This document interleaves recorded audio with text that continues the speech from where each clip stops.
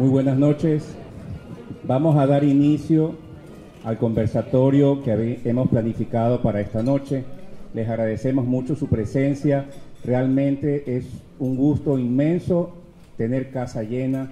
Se ve que los guayaquileños estamos ansiosos por escuchar sobre nuestras tradiciones, sobre la historia y estas actividades culturales que realiza el Tenis Club realmente son muy importantes y es muy bueno que el club eh, perciba el interés que ustedes tienen en este tipo de actividades. Eh, agradecemos la presencia de dos miembros del directorio del Tenis Club que se encuentran esta noche aquí con nosotros. Muchas gracias por estar aquí, así como a todo el público presente. Esta noche tenemos una actividad muy interesante que será conducida por la licenciada Clara Ayala Barresueta. Ella es hija del gran historiador Osvaldo Ayala Núñez, un hombre que ama mucho a Guayaquil, siempre la amó. Y Clara de alguna manera ha heredado, ha, recibido esta, este amor inmenso por nuestra ciudad y en este tipo de actividades culturales ella quiere transmitir su amor, su preocupación por el futuro de la ciudad y también porque no olvidemos nuestras tradiciones, nuestra historia. Entonces realmente es muy valedero eh, reconocerle a Clara esta iniciativa que ha tenido y agradecerle al Tenis Club por la acogida que le dio al proyecto de Clarita. Y yo pienso que Clara Ayala Barresueta se merece un fuerte aplauso.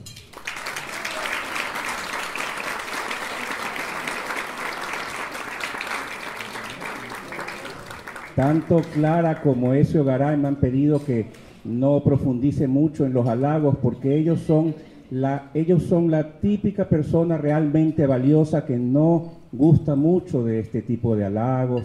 Pero esto no es un halago, simplemente es un reconocimiento a su valía, ¿no? El mismo caso es el de Ezio Garay, que es miembro de la Academia Nacional de Historia, un hombre muy valioso, que también es de un perfil bajo único, que se ve muy pocas veces, y seguramente me, me va a tirar de la oreja ahora en el, al finalizar el, conversatorio, pero realmente hay que reconocerlo. Es un hombre sumamente valioso, con una trayectoria de más de 46 años realizando investigaciones. Ha publicado innumerable cantidad de libros eh, sobre historia, sobre genealogía, eh, cada uno más interesante que el otro. Realmente eh, me extendería demasiado si me pongo a detallar minuciosamente pues sus logros, ¿no? En todo caso, yo pienso que todos ustedes ya lo conocen también a Ezio Garay y sin más, sin alargarme más, los dejo con Clara Ayala y Ezio Garay. Un fuerte aplauso.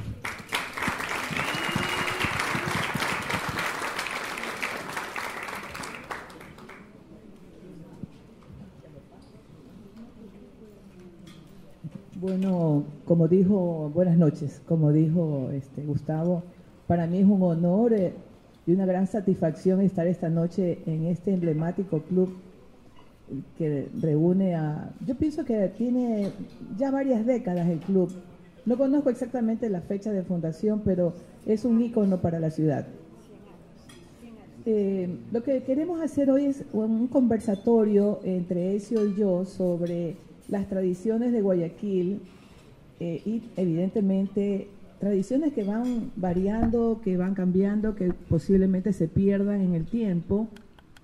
Y también tocar el asunto de las nuevas generaciones, eh, los nuevos guayaquileños o la población que llega a Guayaquil de muchas, de muchas partes y que aportan de una u otra manera de diferentes, con, diferentes elementos a, a que Guayaquil adopte o adquiera rasgos de una metrópoli, pero rasgos eh, muy propios, ¿no? Como toda gran ciudad.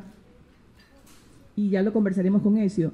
Este, eh, un gusto, Ezio, tenerte aquí a mi lado. Y una de las preguntas que siempre me, me, hago es, ¿cómo así estás? ¿No estás con Cotona? Buenas noches, gracias por haber venido a todos. Gracias Clarita por haber invitado y al Tenis Club te cuento que este club tiene 109 años de existencia. cumplió 100 años, eh, fue fundado en 1910, el año 2010 cumplió los, los 100, ahorita son 109 años. De ellos tengo muchos recuerdos, ya que uno de los vicepresidentes fue mi tío político, Ricardo Fiori, casado con una hermana de mi padre, Leonor Garay Baluarte. Y otras experiencias más. Aquí pasaba a los 18 años que venía con Mario Ayora Lofrucio, que está por aquí, quien me traía al, tenis, que era socio, porque a pesar de tener este tío que era socio del club y fundador del country, del cual fue presidente, mi papá ni yo fuimos socios porque mi padre era un folclorista y decía que un hombre, un artista, no tenía por qué ser socio de un club social, peor deportiva, si él no era deportista. Bueno, o sea, tengo la mala costumbre de irme por el otro lado, porque esto es una simple conversación. Entonces, le voy a dar el micrófono a Clara para que ella me haga las preguntas, porque si no, tenemos para rato. Pero yo ya te hice la pregunta eso. ¿Por qué no estás con Cotona? Por eso digo, me voy por otro lado. En eso me parezco a mi padre. Entonces sí soy hijo de él, gracias a Dios.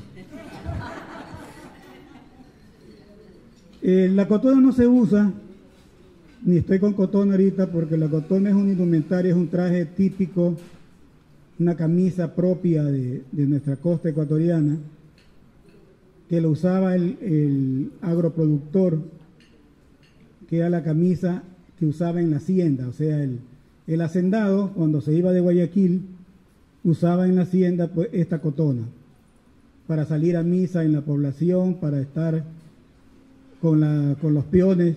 Pero cuando venía a la ciudad, como Guayaquil es una ciudad, por ahí hay un historiador que dice ciudad-puerto, Guayaquil es una ciudad y puerto de la República del Ecuador, no ciudad-puerto.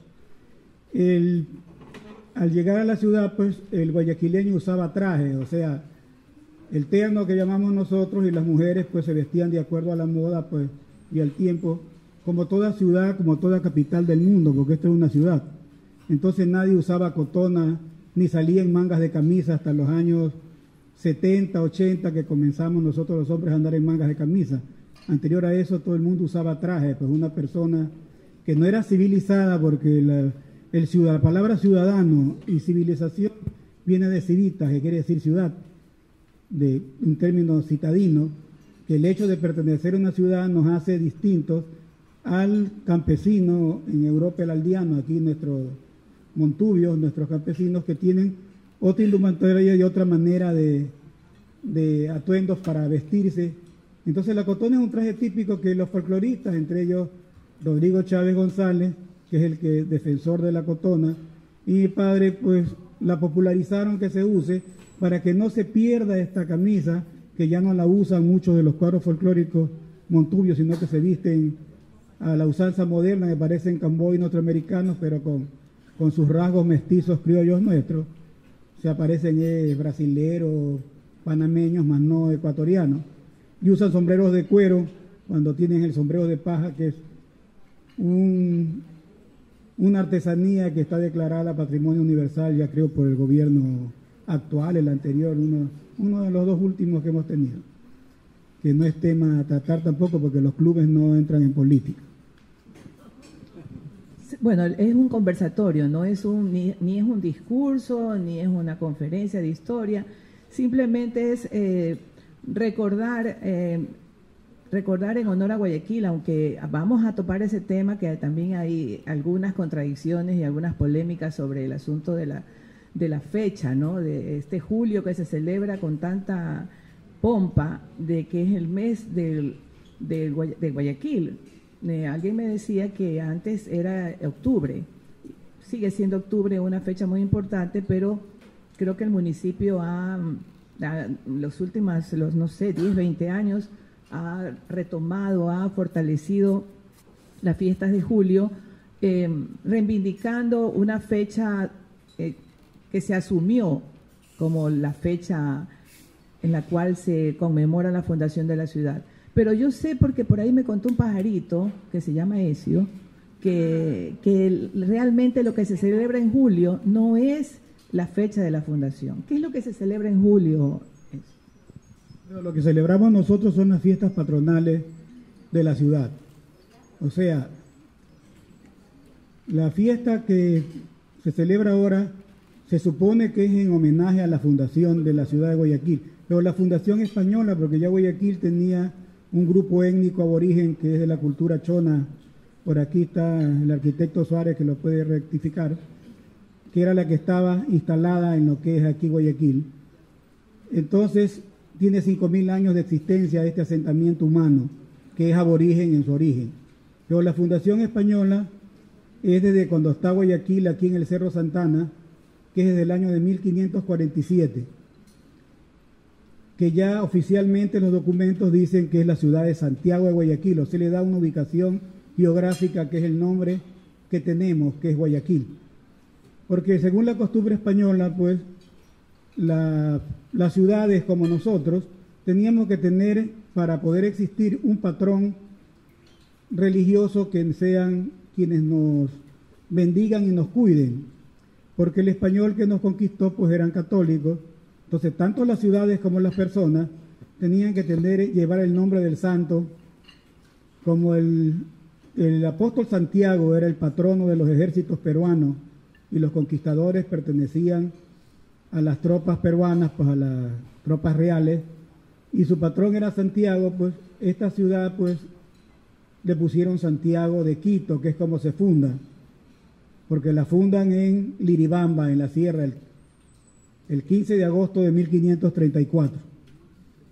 La funda Almagro, porque sabían que por el lado de Manabí venía subiendo Alvarado, otro adelantado, porque los españoles, en busca del oro del Perú, querían ganar territorios para la corona, o sea, para ganar premios del rey.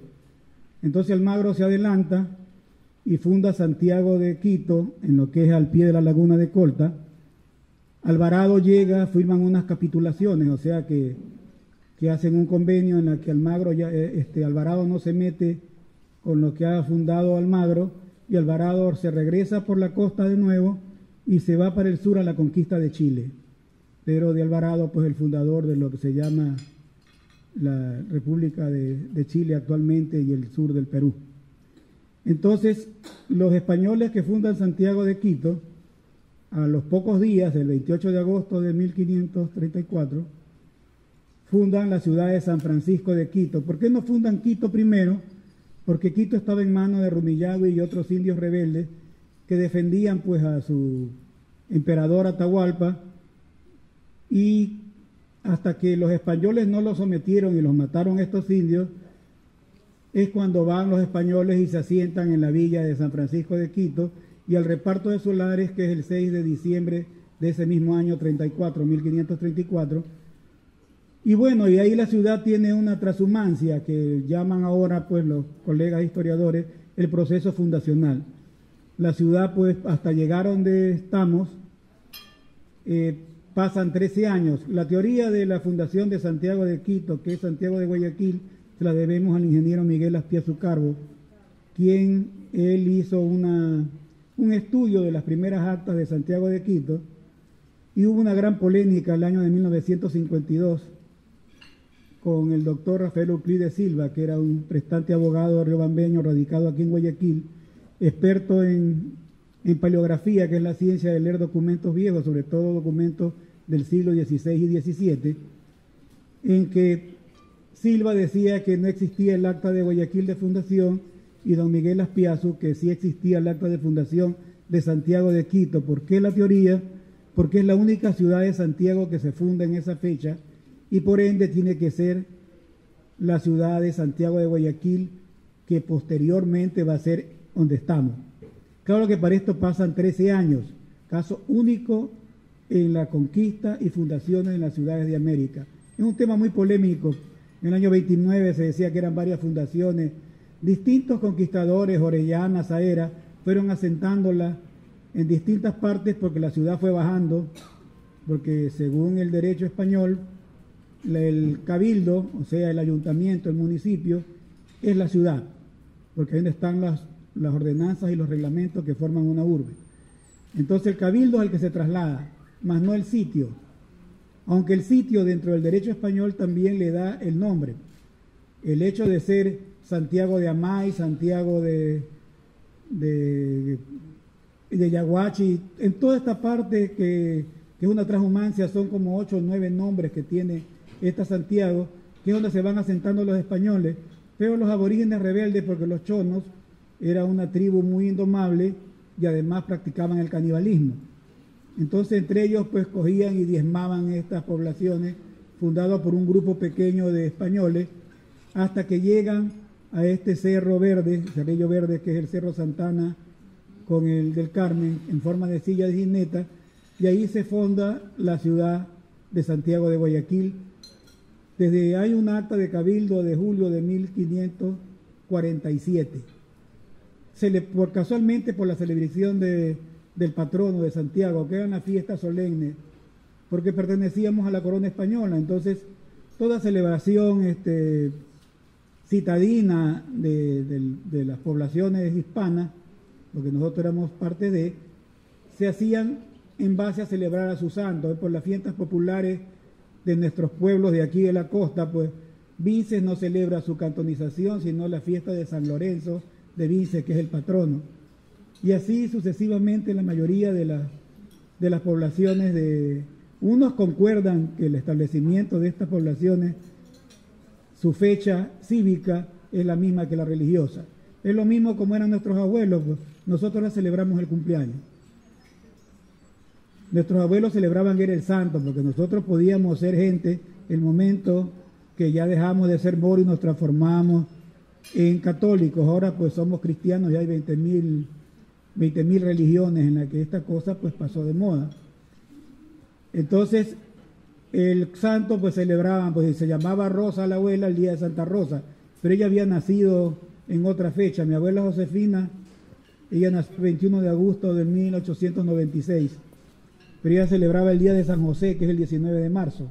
Jamás se celebró el, el santo el 21 de agosto. Entonces, son costumbres que perdimos por estas raigambres hispanos que ahora, dentro de un discurso indigenista, étnico de los gobiernos de turno nos quieren imponer ciertas costumbres y ciertas cosas de nuestros antepasados aborígenes que no es que no valen ni su memoria colectiva no tiene valor. Está muy bien que rescaten todo este tipo de, de, etnicidad, sino que no nos pueden imponer porque Guayaquil pues somos pluriétnicos y pluriculturales, pues nosotros todos los que estamos aquí no somos guayaquileños de, de pura cepa. Tendremos un apellido de pura cepa seguramente pero el resto todos son migrantes, tanto europeos, libaneses, serranos, peruanos, de, cualquier índole que nos hace a los guayaquileños, sea de nacimiento, adopción o de tránsito, que se quedan porque la calidez del guayaquileño pues hace y la facilidad que tenemos como, como ciudad comercial, que somos como emporio comercial, porque somos emprendedores, hace que toda esta migración y toda esta gente se haya quedado aquí. Entonces, lo de la fundación es un tema demasiado polémico y lo que celebramos actualmente es una vieja tradición que nace durante la dictadura militar que derrocó al doctor Arosemena Monroy, que no sabían qué hacer los militares para acabar el poder de Guayaquil, que tenía mucho civismo con el 9 de octubre.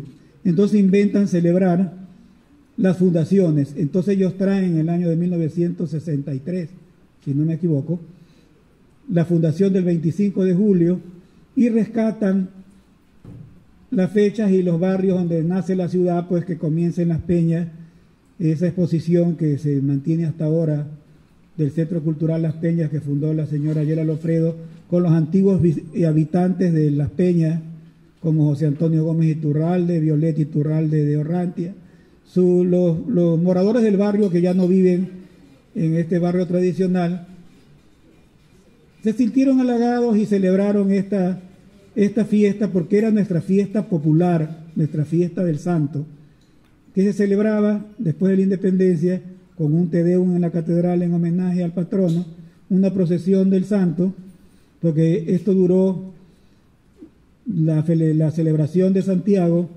hasta el año de 1838, cuando se crea el obispado de Guayaquil con nuestro primer obispo, el doctor Francisco Javier de Garaycoa y Yaguno, Pero cuando nacemos como obispado ya nacemos bajo la vocación de Santiago, el patrono de la ciudad, sino de San Pedro. Ahora se llama pues la parroquia de San Pedro, nuestra catedral. O sea, al, momento de ser obispado ya no tenemos a nuestro santo patrón. Entonces declina y queda como una fiesta popular entre todas nuestras clases sociales. Celebrar la víspera de Santiago, sea, el día 24, se iluminaban las casas, se prendían juegos pirotécnicos, vaca loca y ese tipo de fiestas populares, y al siguiente día se iba a la misa de Santiago como fiesta religiosa, que la reviven lo de la dictadura militar y es lo que se viene celebrando hasta ahora y que la han tomado pues los, las autoridades de turno como una fiesta más de nuestra urbe, que no está mal rescatar nuestra tradición hispano-religiosa de que es lo que nos da el nombre de nuestra ciudad. Gracias, Ezio. Creo que quedó eh, interesante y muy claro, ¿no? Miren las cosas que nos enteramos.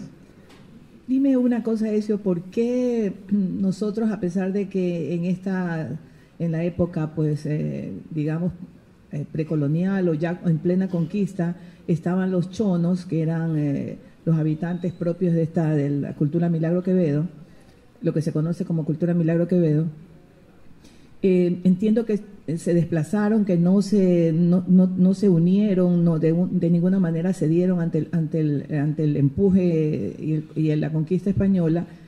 Eh, tengo entendido que se van hacia el oriente. ¿Por qué nosotros nos denominamos Guayaquil Ciudad Huancavilca?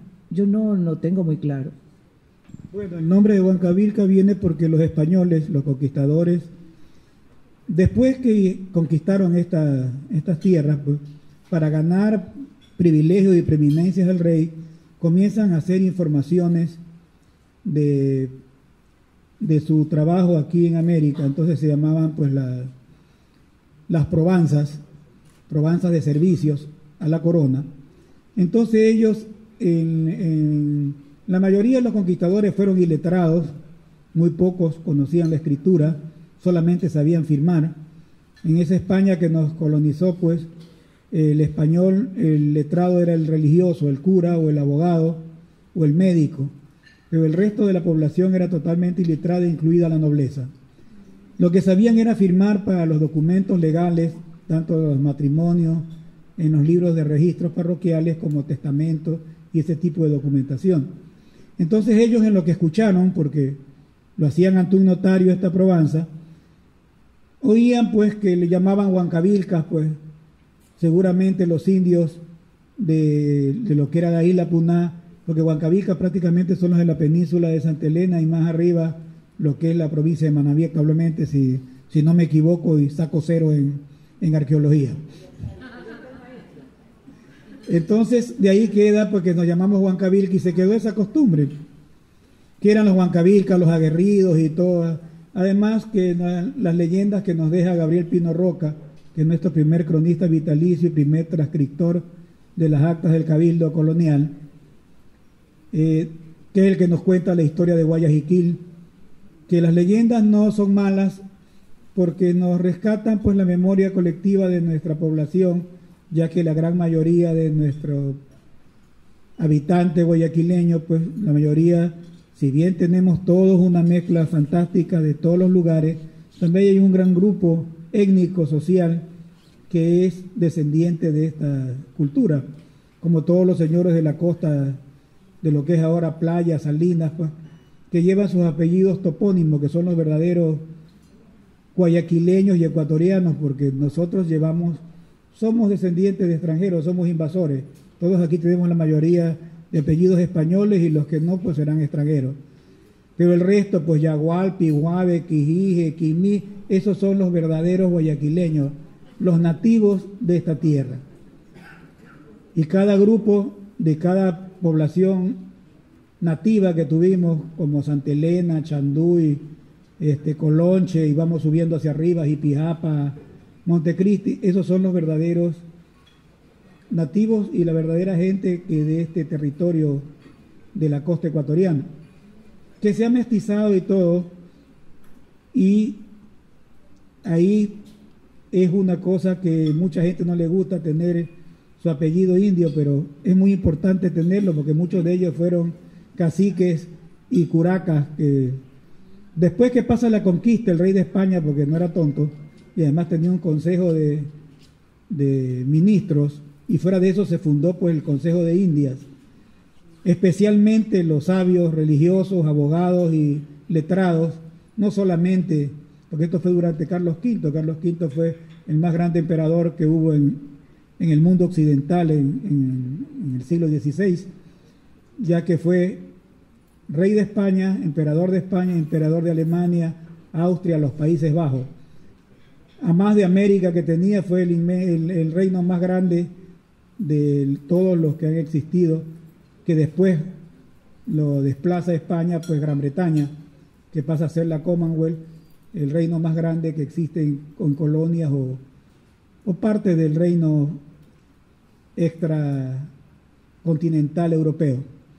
Entonces, el, el emperador Carlos V reconoce que estas tribus, porque los indios seguían rebelándose y no querían aceptar a los españoles, entonces se crean dos instituciones, la encomienda y se reconoce el cacicazgo, o sea, el rey llama a los antiguos coracas y príncipes indígenas mis primos, como se llaman los reyes de Europa. Entonces a todos los descendientes de los incas, que la familia imperial es la única que se llama inca, la de Atahualpa, porque el resto es, son aborígenes o indios del Tahuantinsuyo, porque fue una cultura expansionista la cultura de los incas. Todos estos señores y régulos nativos van a administrar, al ser reconocidos por el rey, van a administrar el orden español, porque los aborígenes no querían pagar los impuestos al rey español. Pero al tener un cacique, ellos comienzan a través del cacique a someterse a la corona española. Y los españoles, conquistadores que habían sido quienes nos fundaron y algunos descendemos de todos estos señores, se les da de premio por tres vidas las encomiendas. ¿Qué es una encomienda? Es una institución medieval ya caduca en Europa cuando viene la conquista, en la que el conquistador tiene esta encomienda en la cual entregan a, por ejemplo, a, para decir algo, pues a Alonso de Vargas, uno de los conquistadores de Guayaquil, le entregan los indios de Daule entonces estos indios de Daule le pagan un impuesto al cacique que tienen, que es el régulo de Daule, que son la familia Caiche Chonana, que por complejo esa familia se cambió el apellido a Cauche, que son príncipes indígenas por Carchi. La fregaron porque cambiaron por un indio de la sierra que está al norte.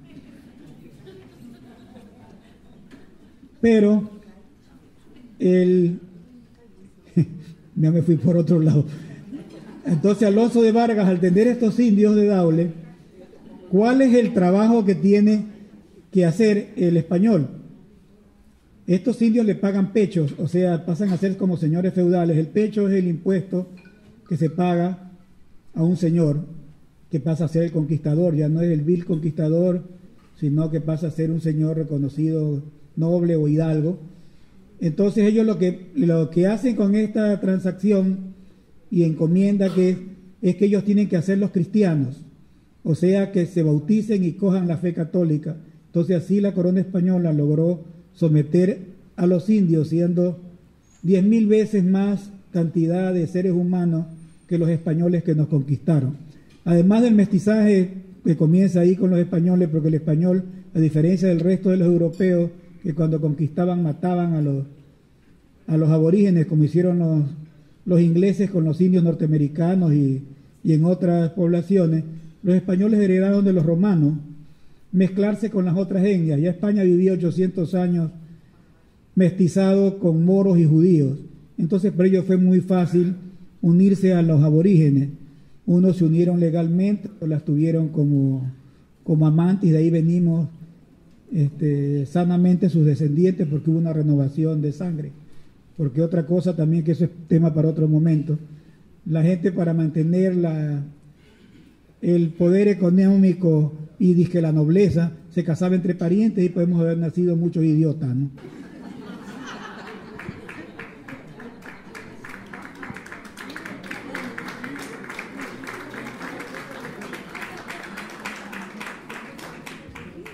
Bien, Grecio. Entonces, eh, estamos ubicándonos en una ciudad, bueno, que empieza en el Cerrito Verde, ya hablando de Guayaquil, esta, este Guayaquil que nosotros conocemos, empieza en el Cerrito Verde y evidentemente eh, asume eh, las costumbres, la forma de vestir de los españoles y de otros y de otras de grupos que venían de Europa o de otras partes de América. Eh, en algún momento hemos conversado sobre la ropa de los, de, los pueblos andinos, eh, a pesar de que también me voy a saltar, me voy a salir del tema, pero que también tiene que ver mucho con la forma de vestir, ¿no? Nosotros, ¿cómo, qué, qué, adquirimos de España? O sea, creo que llegó la guitarra, creo que llegaron ciertos productos de culinarios para la comida, ¿no? Eh, eh, me imagino que llegaron modas, eh, pero yo estoy hablando de cuando recién Guayaquil empieza.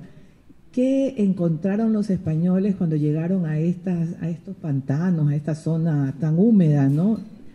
Hablábamos el otro día de que la cuenca del río Guayas es completamente inundable.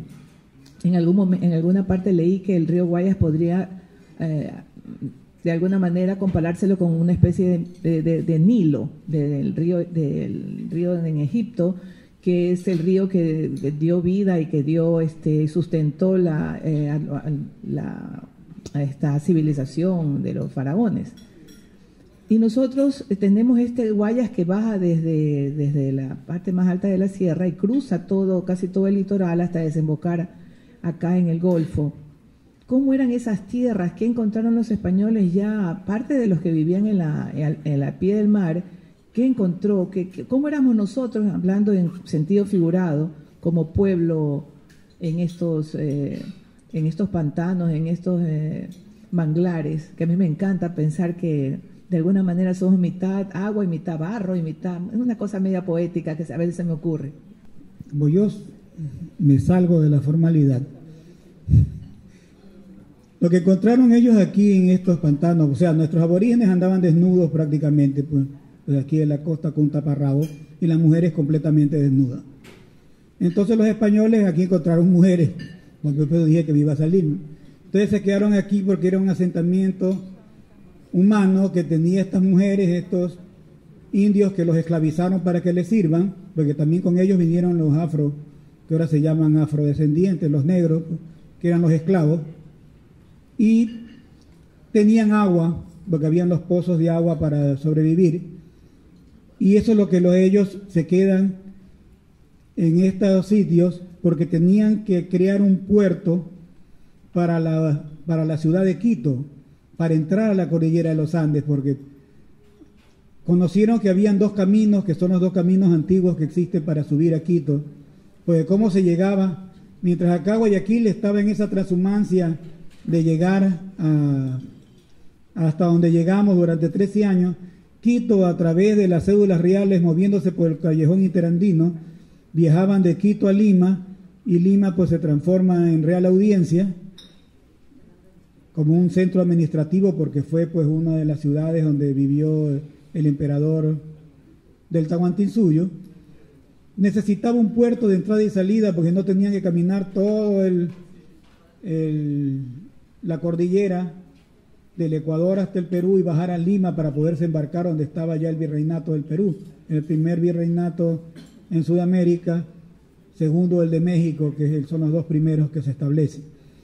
Entonces, este puerto se establece aquí con los españoles. Entonces, los españoles comienzan a traer todos los productos que no habían, que vienen a enriquecer la, la cultura aborigen y los aborígenes a, matar de hambre a Europa, que prácticamente estaba depredada por, la, por los miles de años que tenían de cultivar la tierra. Entonces de aquí va para Europa la frutilla, la papa, este, los tomates, casi toda la mayoría, el pavo, que es una, un ave que se cría grande, que se lo consumimos todos en fiestas especiales, muchos alimentos y frutas, las frutas tropicales, fuera del oro, la plata, las piedras preciosas que encontraron en esta tierra que era virgen, porque no había sido explotado por el hombre, sino por estas culturas que eran prácticamente primitivas, ya que no conocían la escritura ni la rueda, no es que eran inferiores a los españoles. Era una cultura que no había llegado a un ascenso cultural mayor porque estaban atrasados por muchos años en este lugar perdido del mundo, en aquel entonces cuando se descubrió América. Entonces, todo esto va para Europa y los españoles nos traen pues las lentejas, el fideo, el trigo, la cebada, que ellos viene la cerveza, nos viene el vino con la uva, nos traen pues las vacas, pues el ganado vacuno, el caballar, las ovejas que daban lana, pues las gallinas, la gallina se llamaba gallina de Castilla, la gallina viene el los los gansos, toda la cultura, este, este mimetismo este, de fauna y vegetación y de frutos, es lo que va a mimetizarse, o sea, a mestizarse y a crear una cultura, pues, que es lo que utilizamos ahora toda en nuestra inmensa gastronomía, que es lo que nos hace tan ricos. Y con ellos vienen también muchas costumbres europeas, por las artesanías. Los aborígenes tejían y lavan, pero el europeo trae el bordado. Entonces el rey, por pragmática real y cédula real, dispone cómo tienen que vestirse sus súbditos. Entonces cada población tiene que tener un traje típico. Guayaquil nunca tuvo traje típico. Por ahí una amiga que ha inventado un traje típico de Guayaquil, que es una ridiculez. El, el faldellín, una cosa color celeste y blanco. Pero Guayaquil es una ciudad en la que la gente se vestía de acuerdo a la moda francesa. En la época de los de los gran cacao, que tampoco se, nunca existieron los gran cacao. Un, el gran cacao es un término que el pueblo le puso a la gente rica productora de cacao, que le decía, ellos son los gran cacao, o sea, la, los dueños de la producción, o sea, no es que eran, ahora dicen muchos, los gran cacao. Los gran cacao era un, era un tema burlón, así como el que inventó el señor que se fue, que le dicen pelucones a los ricos. Entonces le decía el, pueblo con sorna, gran cacao, a quien se vestía como citadino a la moda francesa y estaba de acuerdo al tiempo de ese momento. Es, un, modismo popular que quedó diciendo los gran cacao, pero estos señores productores cacoteros pues, vivían a la moda francesa. Y antes de esto en la colonia, la moda venía de Madrid y de Lima, que era lo más cercano que teníamos. Entonces la gente se, se vestía a la usanza de la capital limeña aquí en Guayaquil. Pero los pueblos tenían que vestirse, sus grupos étnicos, de acuerdo a una ordenanza, de acuerdo a una cédula real. Entonces mi pregunta para ustedes es, ¿el traje de los señores indios de la sierra es típico o autóctono? Qué pena que tengo que llevarle la contraria. Es típico. Porque si fuera autóctono, nuestros indios de la costa andarían desnudos y pasaríamos lindos viendo mujeres desnudas en cada desfile que haría aquí la, nuestra querida directora de turismo, Gloria Gallardo, llenos, de mujeres desnudas y, las mujeres viendo a uno con taparrabos, pasarían lindo. Y en la sierra usaba una camiseta de lana de, llama. El rey crea el traje típico del indio de la sierra, porque el sombrero del, el hombre, el sombrero, el poncho, el pantalón y la alpargata son españoles. En la mujer, el sombrero, el anaco es el faldellín, las alpargatas y el rebozo es el mantón de Manila que usa la madrileña, que es el mantón que usaban las españolas. Entonces, el traje de las indias de la sierra, que claro que le da la norma, pues los indios araguros se visten de negro con blanco, llevando el duelo de Atahualpa, la chola cuencana lleva las blusas bordadas. Todo eso está por cédula real, pero es un traje típico que pasa, podría pasar autóctono porque ya tiene casi 500 años, que es lo que podemos ya dentro de poco cumplir todas nuestras ciudades, de usar esta indumentaria, pero no es un traje de nuestros aborígenes original. Bien, otra, otra novedad para muchos, ¿no? Bien, en honor al tiempo, este, vamos a, a dar un salto cuántico. La palabra les encanta, ¿no? Un salto cuántico. Eh, bien, eh, por lo que eh, hemos, podemos deducir, Guayaquil vivió un vestizaje cultural, religioso, hasta cierto punto la religión se impuso y también las modas y la forma de vestir, seguramente de comer, y se adaptó a los productos propios de la región. Recordemos que Guayaquil era todo el litoral del Ecuador, ¿no? Si no digo eso, mi papá me mata. Este, Guayaquil era, llegó a ser todo el litoral del Ecuador y después fue la división. Entonces estamos hablando ahorita de Guayaquil, de la ciudad nuestra, estamos hablando de toda la costa, solamente de nuestra ciudad, la que conocemos ahora. Bueno, digamos que de esa, para no, enredarnos más. Eh, Guayaquil pasa entonces eh, los siglos, eh, dos o tres siglos en este proceso y vamos a llegar al siglo XX, a la década del 40, del 50, cuando de alguna manera empieza, eh, ya se había dado una leve industrialización por las migraciones creadoras, que en algún momento conversábamos con ellos, migraciones, por ejemplo, italianas o orientales o sirio-libanesas que habían traído desde sus pueblos eh, originarios novedades eh, o fábricas o, algún tipo de comercio. Entonces nos encontramos en el siglo XX con un Guayaquil que empieza a cambiar eh, hasta su forma de comer. Yo recuerdo que cuando era pequeña había desayuno, almuerzo y merienda. O sea, tú comías en la noche arroz con menestras, sopita de fideo, con o sea, todos comíamos, comíamos a las seis de la tarde, ¿no? Una costumbre, una tradición que se perdió. Hay una tradición de dulces también en Guayaquil, que, antiguos dulces que muchas personas, muchas familias se especializaron en eso. Pero el siglo XX eh, es un siglo de grandes cambios económicos, con la, llegada del banano, con la llegada de, nuevas ideas eh, eh, políticas, cambios sociales este, bastante fuertes. Entonces tenemos un guayaquileño ya, y eso es en la mitad del siglo XX. Yo le preguntaba eso el otro día, ¿qué piensas tú de las tradiciones que nosotros vivimos y que algunos ya, nuestros descendientes ya no las conocen ni las practican?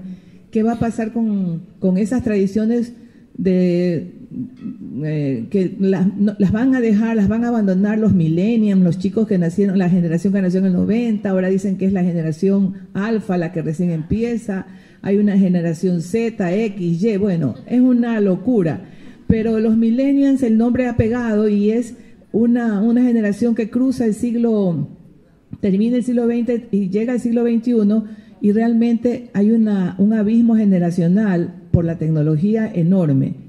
¿Crees tú, Ezio, que las tradiciones que nosotros de alguna manera vivimos o se han mantenido a través del tiempo, algunas, otras se han perdido, van a ser completamente borradas del mapa por estos nuevos, estas nuevas generaciones que vienen con una tecnología que no sueltan en ningún momento el celular? ¿Qué va a pasar con Guayaquil y esas tradiciones que tratamos nosotros de rescatar o por lo menos reconocer y de alguna manera mantener? Bueno, aquí es una visión muy particular mía. El Guayaquil, pues, los guayaquileños tenemos pues una culturación que es propia de los cambios de los tiempos, que no es mala, porque las cosas se van dando, se va cambiando constantemente por la influencia foránea, por la tecnología, por mil y un factores. El guayaquileño tradicional de lo que vivimos nosotros en nuestra época cambió porque cambió la sociedad como era, pues Nuestras madres y abuelas pasaban metidas en la casa, pues las mujeres son ejecutivas y profesionales. Nadie está metido en la casa con una olla batiendo un maíz para hacer una yaca. Pues, Esas cosas solo se mantienen ciertas personas que preservan este arte, que son expertas en gastronomía. Ahí tenemos a Angélica Cujilán con el encebollado y las ayacas que son deliciosas, que sigue manteniendo esa culinaria propia nuestra. El resto de las mujeres no se dedican a eso. Están al último grito de la moda con el celular, tuneándose con los cirujanos plásticos. Pero es parte de la culturación foránea que viene, que viene con la tecnología, que es normal. Tengo unas amigas que vienen a bailar aquí los días jueves, todos los jueves y bailan como trompo, que está muy bien. Nuestras abuelas jamás iban a bailar solas, mujeres. No podían salir sola una mujer, sino acompañada con alguien porque era mal visto, así sea casada. El mundo cambió porque es parte del modernismo. Y nosotros también, pues en mi época, cuando yo era joven, andaba con esos pantalones horribles que lo veo ahora. Esos patas de elefante que sé, papá, que era la, la, las bastas grandotas, un melenón gigantesco, un zambajo y una cadena aquí dorada porque me creía hippie, paz y amor. Lo único que no hice fue fumar marihuana porque no necesitaba, porque soy bien loco. Entonces, ¿para qué iba a coger las modas que venían de LCD y esas cosas? Los jóvenes pues ahorita estarán, serán X, Y, Z, pero eso es por la edad, todos tuvimos ese, ese transitar por todo este modernismo que nos hacía rebeldes, que nos hacía revolucionarios, que nos creíamos dueños del mundo, nos creíamos Superman, que podíamos hacer todo. Pero cuando ya llegamos a los treinta y pico de años, los, los que se casaron, los que formaron familia, ya uno sienta cabeza, comienza a pensar de otra forma, entonces comienza a concientizarse de la necesidad de salvaguardar y de cuidar todas estas tradiciones, porque las tradiciones son en Guayaquil múltiples, porque las personas que tienen de origen serrano pues tienen una costumbre, de acuerdo a sus ancestros serranos, de celebrar la Navidad, de celebrar su cumpleaños. El que tiene la costumbre española pues no celebra el 24 de diciembre, sino el 6 de enero, que es el Día de Reyes. El italiano celebra la Navidad, italiano recién llegado, no los descendientes celebran también el 6 de enero que viene la befana, que es una bruja que trae los regalos. Y así sucesivamente cada cultura ha aportado en su gastronomía, en sus costumbres, en sus tradiciones y sobre todo la migración española, alemana, inglesa e italiana que nos trajo la industrialización, la fábrica de cola, de fideos, de galletas, caramelos y mil y un industrias que vinieron trayendo después los sirio libaneses y otros tipos que transformaron a este Guayaquil pluricomercial, pluriétnico, pluricultural. Ahorita veo en la calle que antes se vendía, la, gente de estrato popular humilde vendía botellas de Coca-Cola con un vaso plástico. Yo renegaba, decía, ¿por qué tiene que vender esa cola caliente en la calle? Pobre gente, decía, pero me llamaba la atención. Ahora oigo a los venezolanos que gritan, papelón, papelón que es una jarra que llevan de jugo de limón con panela, o sea, con, con raspaduras, es decir, ellos que la venden con hielo. Entonces son aculturaciones que vienen por estas migraciones, en este caso, el lamentable, la lamentable llegada de los señores venezolanos en circunstancias muy tristes que llegan a esta nación. Bueno, este, como para cerrar ya el, conversatorio, porque ya es, el tiempo, se, se, nos fue, se nos fue rapidísimo.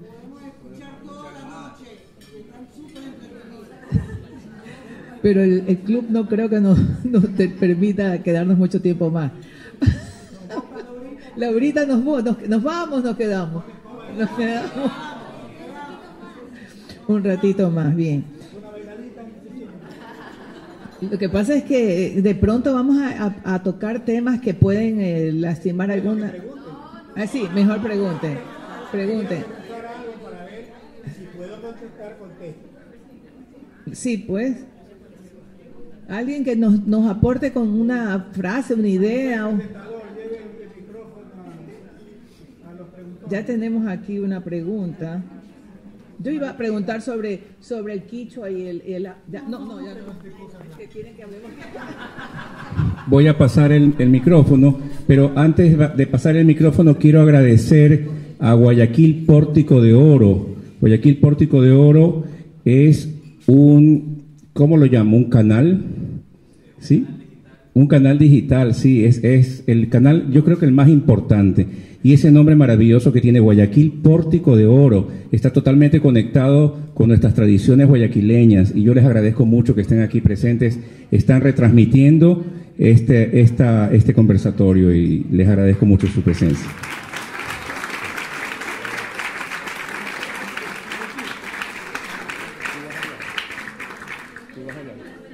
Ya. Le voy a pasar el micrófono a Mariquita Novoa. Muchas gracias. Eh, Ezio, sí, aquí está el doctor Bonilla. Eh, Ezio, tú mencionaste el pavo, pero ¿y dónde quedan las gallaretas?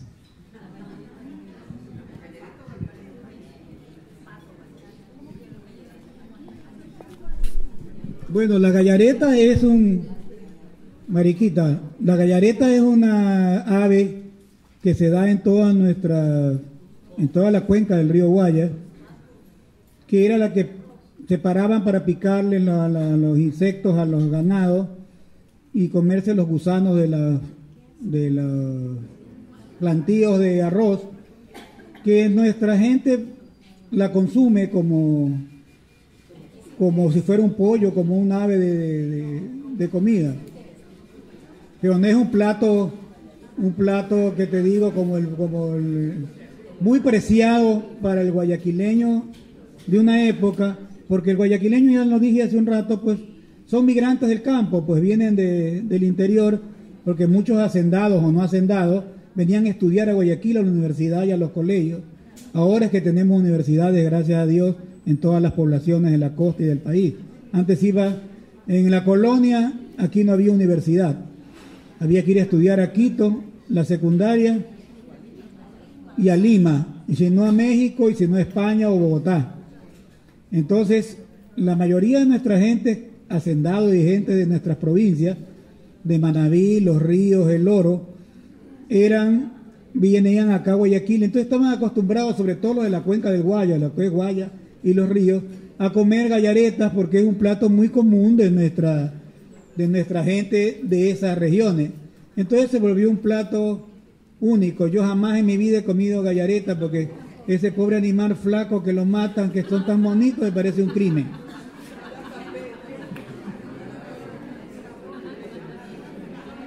Yo, yo, quería acotar que pasó al, al, habla al habla popular, ¿no? Y llegó, se llegó a decir o pato gallareta. O sea, ya es parte de, también de una tradición oral, ¿no? De una tradición en el lenguaje propia del guayaquileño o del costeño, pato gallareta.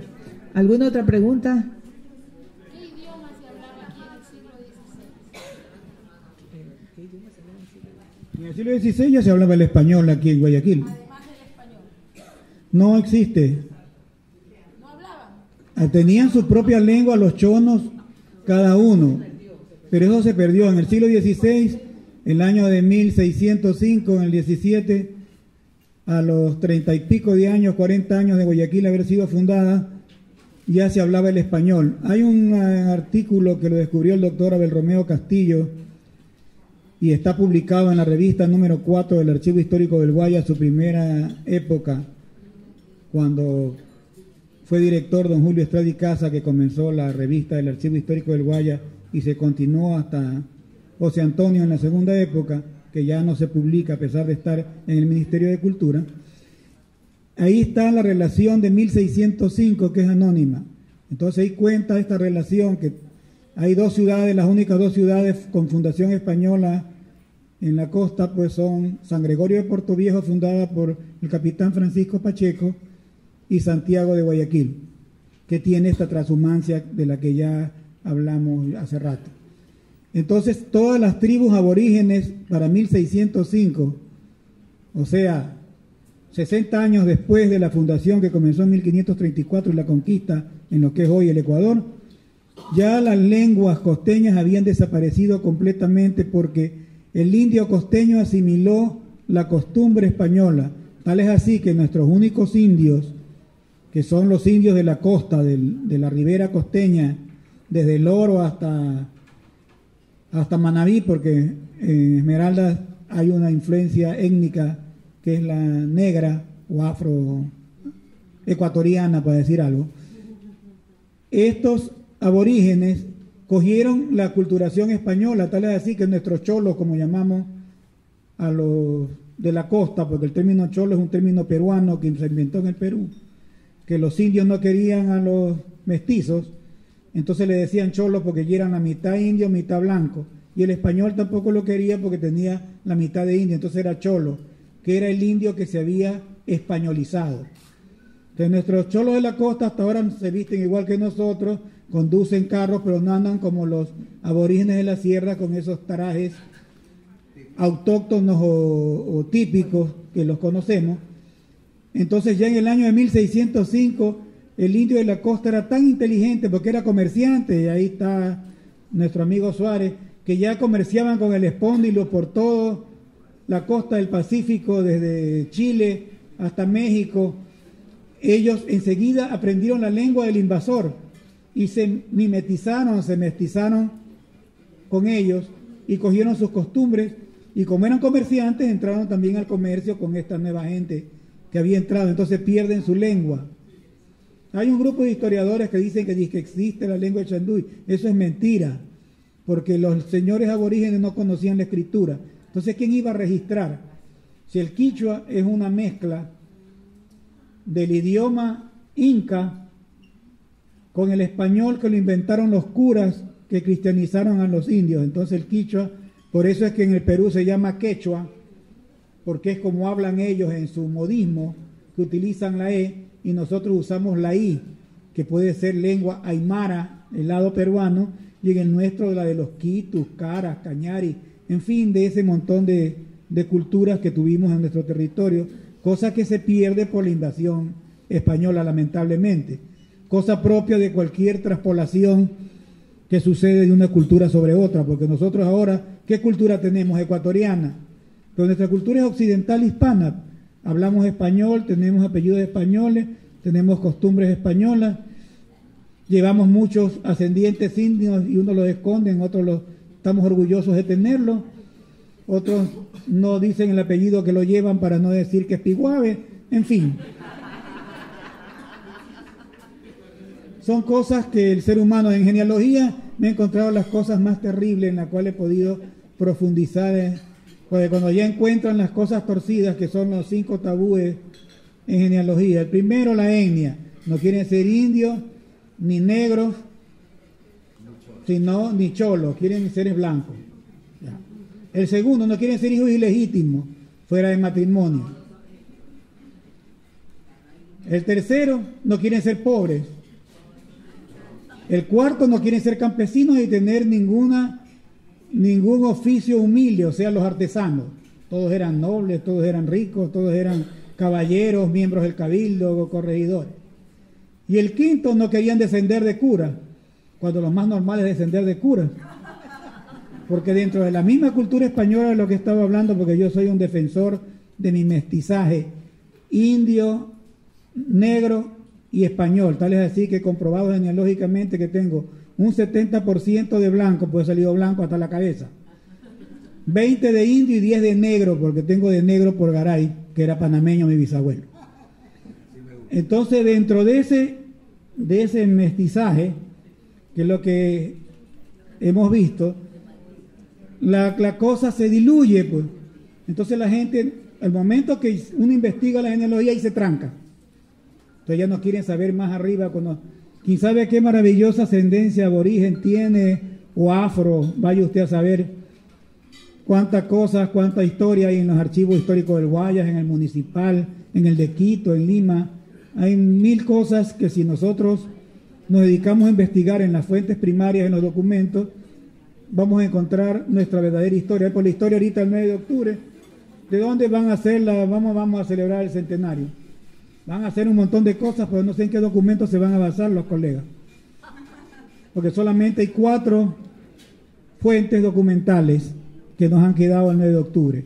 La primera, las crónicas que dejó José Villamil, ya viejo. Antonio Fajardo, que fue prócer, que deja el nombre de todos los participantes del 9 de octubre. El hijo de don Vicente Ramón Roca, que fue presidente de la República a quien atacan todo el mundo porque tiene ascendiente afro y era panameño. Y con eso han, revuelto una familia muy distinguida que nos dio cuatro próceres, entre ellos Francisco María Claudia, que trajo la imprenta, gracias a él tuvimos el Patriota de Guayaquil, el primer periódico, y Vicente Ramón, presidente. El hijo, Emilio Roca y Andrade, escribe sobre el 9 de octubre. Y el segundo y el tercero es Camilo Destruje, que nos deja las crónicas contadas por su abuelo, el general Illingworth. De ahí no hay documentos, todo está perdido por los incendios y por la falta de documentos, la falta de preocupación, lo que después del 9 de octubre nos anexan a la Fuerza Bolívar a Colombia y estamos de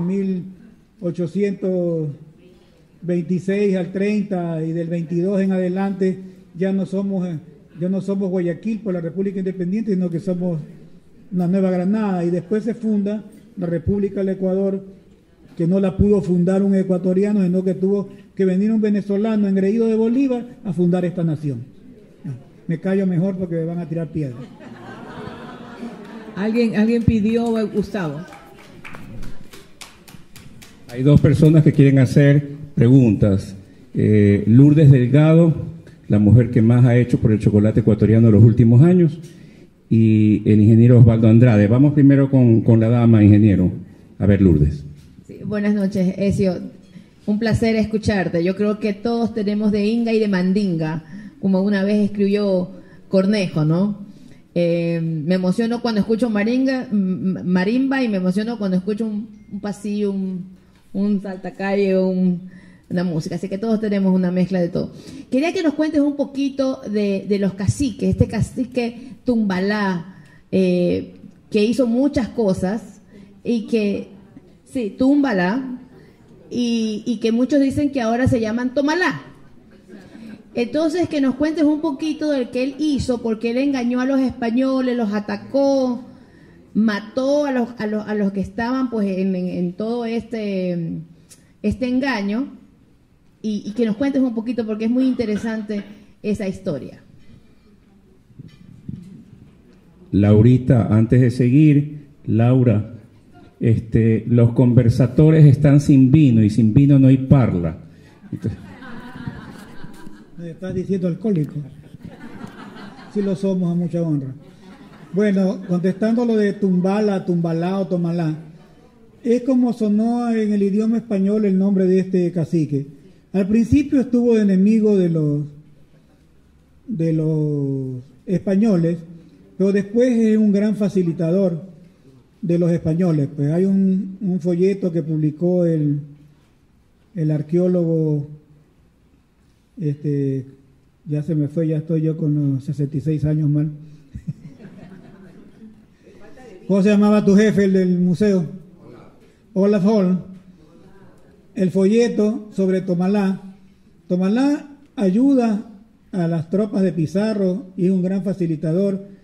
En un momento después los traiciona, pero se acomoda porque no fue tonto, pues fue un cacique, era un príncipe de la isla que los apoya a los españoles entonces el rey le da una concesión de armas, les entrega un escudo de armas y el arqueólogo Holm escribió la transcripción de la concesión de armas de Holm, de, perdón, de Tomalá. Los descendientes de Tomalá son muchísimos, existe hasta ahora en toda la costa nuestra, y entre nuestras familias distinguidas de la ciudad hay unos descendientes directos de Tomalá. De Tomalá desciende el expresidente Alfredo Vaquerizo Moreno, bueno, punto suspensivo, no quiero meterme en más lío. Porque por líneas femeninas, pues, los españoles, pues, se casan con estas familias distinguidas, aborígenes o de, hijas de los primeros conquistadores, que la mala lengua de los detractores de la cultura hispánica dice que los españoles que vinieron fueron unos invasores. Fueron invasores, sí. Fueron ladrones también pero los delincuentes que llegaron primero fueron los que vinieron con Colón, los segundos que llegan después de la conquista, los servidores reales, los burócratas, los escribanos, corregidores, alcaldes de primer voto, eran españoles de las familias segundonas, las familias españolas, pues había una familia noble o hidalga, entonces, una familia de aquel entonces como las nuestras, hasta 50 años, se componía pues de 10 a 21 o 22 hijos. La mujer solo existía para la usanza judía, para servir en la casa y, tener hijos, pues procrear familia. Entonces, estos españoles, pues, el mayor heredaba el título nobiliario, la casa, la hacienda, y eso mismo vino acá a América esa costumbre. El segundo iba a la iglesia. Yo hubiera sido cura si hubiera nacido en esa época, porque soy el segundo y de cura nada. Y el tercero iba a la milicia. Entonces los otros, ¿qué pasaba?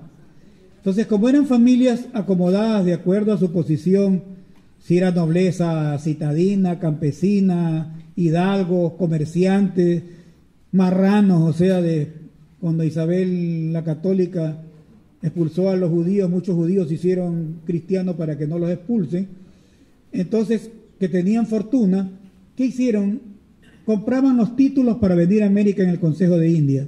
Entonces llegaron aquí como teniente, llegaba pues el español con un documento que decía teniente del corregidor del pueblo de San Nicolás del Palenque.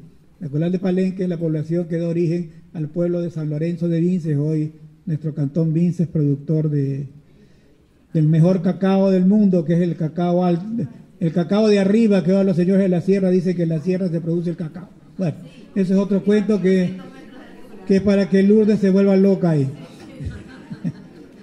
Entonces, estos españoles que llegaron se casaron con las cepas ya mestizas que habían aquí, las hijas de los antiguos conquistadores con las aborígenes o las hijas de los caciques. Entonces, esos eran los dueños de la tierra, eran los propietarios territoriales, los dueños de, las haciendas.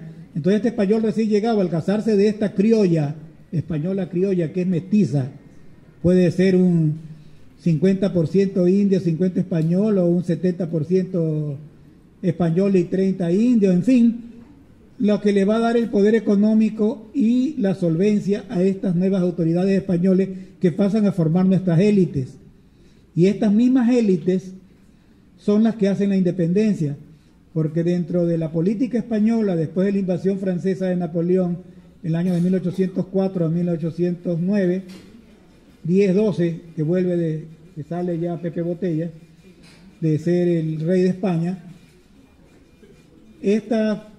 estos españoles, los americanos decidieron, bueno, ¿por qué estamos gobernados? Porque ningún español americano, ¿eh? Polmedo, Rocafuerte, jamás hubieran sido lo que son si hubieran seguido dentro del mismo proceso español anterior.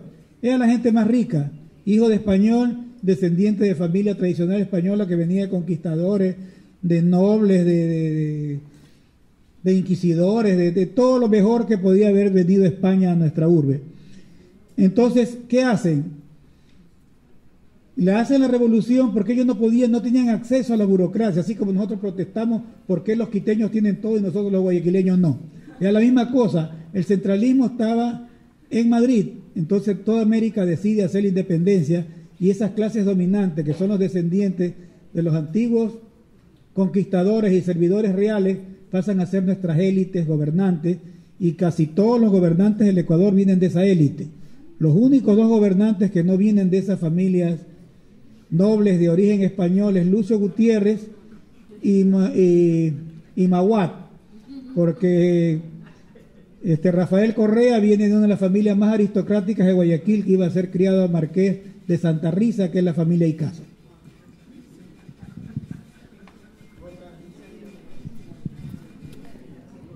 Gracias voy a pasarle el micrófono al ingeniero Osvaldo Andrade, que quiere hacer una pregunta, luego a Rafael Bernardo Silva, ¿verdad?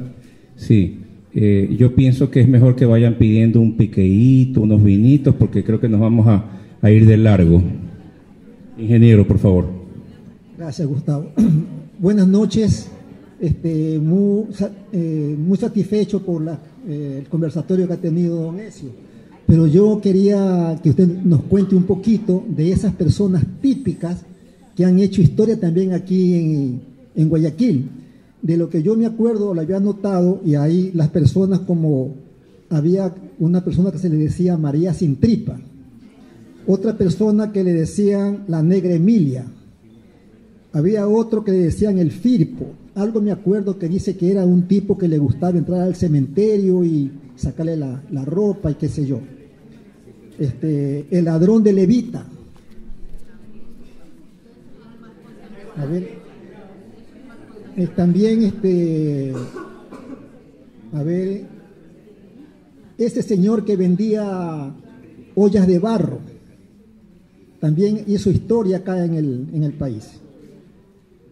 Y, y, finalmente, que nos cuente algo sobre ese personaje que se llamaba Eusebio Macías Suárez. Muchas gracias. Gracias.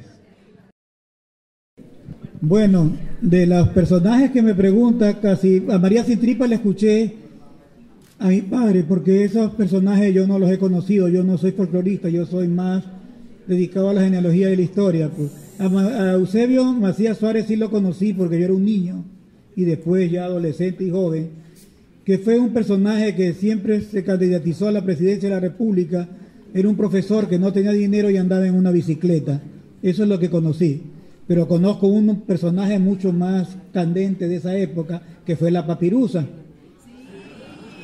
Ella fue la más grande trabajadora sexual que tuvo Guayaquil, que hizo aquí una garzonier, tuvo una casa al estilo de los cabarets francés, como las maisons parisinas, que recibía a todos los caballeros guayaquileños que dio mucha candela en nuestra urbe, y ella se dice la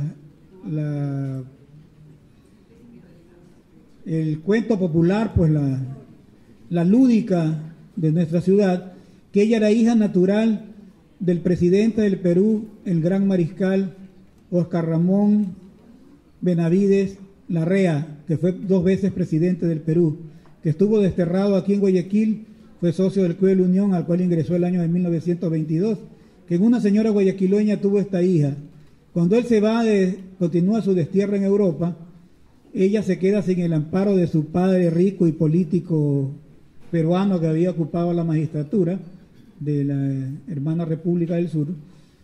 Ella se dedica al trabajo sexual, que era una mujer muy hermosa, y puso esta casa que fue de muchos recuerdos. Ya los señores mayores que me tenían que haber contado no quisieron contarme con lujo de detalle porque me quedé sin esa parte porque ya quise hacer algo de tradiciones, pero muchas ya se perdieron. Mi papá recogió en un libro a María Sin Tripa, todos esos personajes que ya, ya no existen.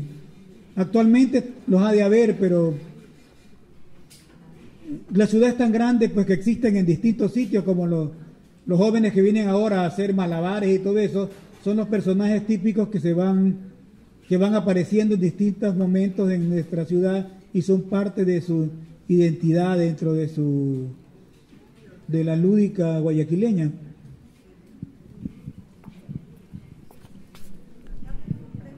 Vamos a escuchar a, ya voy para allá, este, a Rafael Bernardo Silva. Gracias. Quiero aprovechar, quiero abusar de la oportunidad para preguntarte dos cosas. La primera es que si nos puedes comentar un poco sobre el origen del pasillo y por qué el nombre de pasillo, que es la música popular guayaquileña. Y lo segundo es, ¿qué otra mujer en la historia de la independencia de Guayaquil se ha podido destacar? No solamente Manuela, porque también está la esposa de Villamil y otras más. Entonces, ¿qué roles fueron realmente fundamentales por la parte femenina para la independencia de Guayaquil? Bueno, el origen del pasillo lo que yo sé por mi padre que era músico es de origen colombiano. O sea, el pasillo no es una creación nuestra. Es un ritmo que vino en la época de la independencia con los, con los soldados colombianos. Es un ritmo que vino del norte y se quedó en, nuestro, en nuestra creencia popular porque el pasillo es, tiene un origen en el cante hondo y en el cante y en el, en el origen andaluz que es la canción La Tonadilla que canta el español de, la zona del sur de España, que en Colombia lo llaman pasillo porque es, tiene un tiempo musical que no conozco porque yo no soy músico. Entonces ese es el origen que pasó a ser ecuatoriano porque muchos de los compositores y poetas del siglo XIX y XX hicieron muchísimas composiciones don este ritmo traído por los colombianos casualmente, porque no nos olvidemos que pertenecimos a Colombia, vinieron a ayudarnos a nuestra independencia de 1820 a 1822 y de 1822 a 1830. Ocho años somos colombianos, no somos ecuatorianos, ni guayaquileños, ni, ni del reino de Quito, porque nuestra ciudad ha sido chona, española, guayaquileña, porque era República de Guayaquil, colombiano y ecuatoriano, porque eso es lo que somos, esta ciudad. O sea, viendo a cuánto nacionalidad, perteneciendo como nación, como Estado, como grupo humano dentro de un contexto político. Sobre la segunda pregunta, las mujeres guayaquileñas estuvieron siempre apoyando a sus maridos, los que fueron próceres, pues la madre de de Rocafuerte, que se dice que no había mujeres empresarias, pues la madre de Rocafuerte fue una de las más grandes exportadoras de cacao de finales del siglo XVIII, principios del XIX, cuando quedó viuda de, de Antonio de Rocafuerte y Antolí, el padre de don Vicente, y Vicente estaba en Europa, en las Cortes de Cádiz o estudiando, entonces la señora administraba los grandes territorios cacauteros y el más grande ingenio que había, que es el ingenio San Carlos, en Naranjito, que es lo que viene a hacer ahora el ingenio, el ingenio Rocafuerte, perdón, que viene a hacer ahora el ingenio San Carlos. Y una mujer que destacó en Guayaquil porque era hija natural de un corregidor, San Francisco de Herrera Campuzano, pariente de Clara. Este señor Herrera Campuzano tuvo un hijo en una mulata que se llamó, el apellido de ella era una señora Mariana Cornejo, tiene Rosita Campuzano Cornejo. Entonces esta hija natural de este prominente corregidor de San Borondón, Babahoyo y muchos cargos públicos que ocupó, manda a esta hija natural a Lima con unas parientas por Herrera Campuzano, la Roldán Herrera Campuzano que vivían en Lima. Y allí esta mujer comenzó a frecuentar los salones de los insurgentes y fue amante del libertador José de San Martín y Matorras, que los argentinos no la aceptan como amante libertador, sino que solo estuvo casado con, con la señora Milagro, que no me acuerdo el nombre, aquí ahorita el apellido, y que nunca tuvo un amante en Lima. Entonces, Rosa Campusanos sirve de espía entre los españoles y los próceres, entonces ella visitaba la corte del virrey con los nobles españoles limeños y les contaba a los soldados y a los próceres peruanos que ya San Martín estaba viniendo para ayudarlos a libertar, porque se liberta Lima, la fiesta que celebra el Perú y la independencia, no del Perú, sino de la ciudad de Lima, que es el 28 de julio de 1821. Todos los mitos políticos que han creado nuestras naciones. Pues, Entonces, ella sirve como una matajari de los, que fue del siglo XX, principios del XX, de esta época, entre los dos bandos. Yo una vez en la independencia, pues conoce a un varón, el varón de Beniger, un suizo, que era comerciante, que apoyaba la independencia haciendo préstamos monetarios, entonces pasó a ser baronesa de este señor, que después la deja abandonada y se va. Y ella acaba por último siendo amante de, de un alemán, en la cual tiene un hijo, que el hijo muere en las tantas revoluciones peruanas. En los últimos años y en la más grande pobreza, porque nunca el Perú Peor el Ecuador, pues la, aquí la, la, ninguneaban porque decían que era una mujer que no se había que se casó con este varón, pero que había sido amante, le decían de todo, pues, como también le han dicho a Manuela Sáenz, este, denigrando su género. Ella pues vivía en una pobreza franciscana, entonces don Ricardo Palma pues le dio un cuarto para que viva arriba de los altos, en los altos de la biblioteca municipal Biblioteca Nacional de Lima, donde ella fallece. Es enterrada en el, cementerio presbítero maestro, pero como no tenía para pagar los alquileres de la bóveda, sus restos fueron echados a la fosa común y nuestra heroína de la independencia, Rosa Campuzano, desaparece. El hermano de Rosa Campuzano, medio hermano de ella, viene acá a Guayaquil tiene descendencia, de ahí se casa con una de esas campusanos, se casa con los Ayala, saben los Ayala campusanos y ahí viene Clarita. Ella es sobrina en quinto grado de Rosita Campuzano. Bien, la última pregunta es para, le corresponde a Montserrat Vela. Buenas noches. Eh, primero que nada decir que estoy encantada con este conversatorio, espero que se repita muchas veces este tipo de actos, porque la verdad es que hace mucha falta. Eh,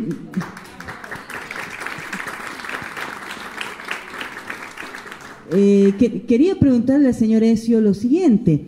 Pues verá, en un taller que di en el gerontológico Arsenio de la Torre Marcillo, en contacto con personas de la tercera edad, me enteré por ellos que en Guayaquil habían existido tres lugares de diversión, eh, el Morocco y el Cashbat, que eran eh, centros nocturnos, y otro lugar de diversión familiar llamado el American Park. Quizás pudiera hablarnos un poco más de estos, de estos sitios. Bueno, los tres sitios fueron de gran diversión. El American Park estaba aquí al frente, lo que es la Plaza Vaquerizo Moreno, por eso la plaza lleva el nombre de don Rodolfo Vaquerizo Moreno. Don Rodolfo Vaquerizo Moreno fue un gran empresario, hermano del presidente Alfredo Vaquerizo Moreno. Él creó un centro de diversión para Guayaquil, alquiló al municipio estos terrenos y aquí hizo un negocio que tenía parque de diversión, hizo una piscina de agua se llenaba con el agua del salado y también los baños del salado tenía una concha acústica donde se presentaban los cantantes de época y juegos, todos estos juegos mecánicos. Tuvo también la empresa de carros urbanos, el carro eléctrico, después él trajo el primer bus. Muchas empresas de don Rodolfo, por eso se debe la plaza, este fue aquí al frente, que duró hasta los años 60, que aquí era un muro, que era un basurero, hasta que después Asad Bucarán, cuando fue alcalde el año 63, hizo el Parque Guayaquil. Una estupidez ponerle Parque Guayaquil cuando estamos en Guayaquil, pero bueno. El Morocco y el otro fueron unos famosos cabarets que estaban aquí a la vuelta. en la calle Aguirre, entre Lizardo García, que fue un sitio de lujo, fue un cabaret de lujo en la cual iban todos los señores turistas, los, los caballeros guayaquileños, los políticos, que con el paso del tiempo fue decayendo. Pues ahí está Fernando Macías que vivía a la vuelta, que no lo dejaban dormir en las noches a la familia por la bulla que metían los... No metían bulla, pues era un sitio de diversión. Y él también me contó que había uno turro, que era el pie de la... Aquí se cogía por el Vicente de Rocafuerte, el autoferro que iba para la costa, pues se iba en autoferro a, hasta San José de Amén, que es Progreso. De ahí se iba a playas en, en Las Chivas y de ahí se seguía el autoferro hasta Salinas. Ahí era el tírate al agua, que era uno de los últimos que cuando llegaba la policía, los que estaban en el cabaret bailando con las trabajadoras sexuales, se tiraban al salado para que no los cojan. Se sigue usted entrevistando a los señores que tienen ciertas horas de vuelo, porque estos saben bastante, pero tiene que tener un tino único para que cuenten lo que es, porque si no se callan.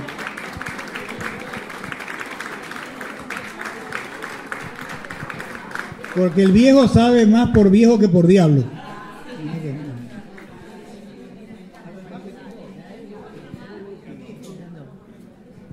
Bueno, esta, con estos comentarios cerramos el conversatorio. Sí. Pídanle a Laurita que para después de un mes otro conversatorio sobre algo similar, pero en honor al tiempo ya, ya estamos, ¿no?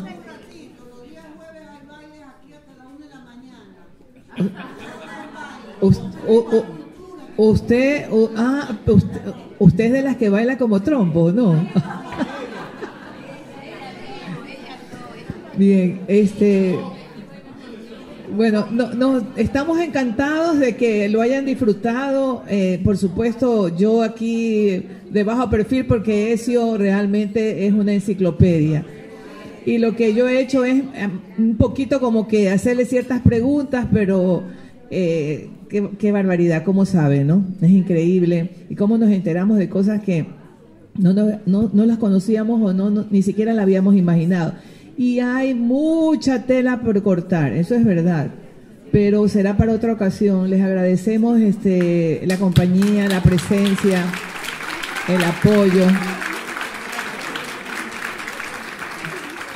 Y pues disfruten, disfruten un rato más de, estas instalaciones y de la gentileza de Laurita Villanueva, de las empanaditas y gracias por el vino, Laurita. Muy rico, gracias. Buenas noches a todos. Bueno, yo les agradezco mucho su presencia y espero no haberlos aburrido, que era, mi intención. Creo que se me ha ido la lengua en algunas cosas, pero bueno. Le, agradezco al Tennis Club por habernos dado esta acogida, que sea una, un espacio en la que podemos contar algo de nuestra identidad, algo de nuestra memoria, en una forma coloquial y en un lenguaje campechano, sencillo, porque mis colegas académicos hablan con palabras rebuscadas y poses y se paran en ciertas formas que no es... Y a veces hablan cosas que ni siquiera entendemos porque usan tantas palabrejas que ni siquiera existen en el diccionario español porque lo destrozan. Que esto es una forma de mantener nuestra memoria, que se siga conservando estos espacios que se creen más espacios, porque nuestro Guayaquil es maravilloso, pluriétnico, pluricultural, con una gente maravillosa, porque el guayaquileño lo que lo identifica es que es un ser hospitalario, amigo, y muy generoso. Tal vez ustedes están aquí escuchándonos esta noche. Gracias.